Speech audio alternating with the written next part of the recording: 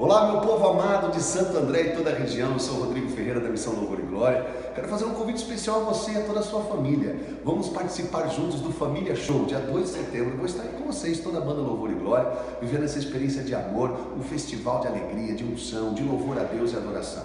Você não pode ficar de fora. Venha participar com a sua família porque é uma programação intensa.